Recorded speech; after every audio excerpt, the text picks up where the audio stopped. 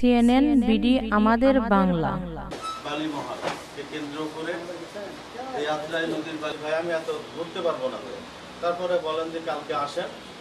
যে শিডিউল বিক্রি করে ডিসি অফিসের রেজাউল রেজাউল সেখানে নিকলা দিয়ে দেওয়া নিয়মিত ঠিকাদার।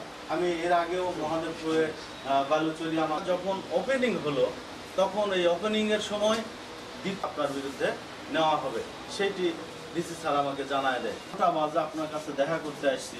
তো আমি শুনলাম যে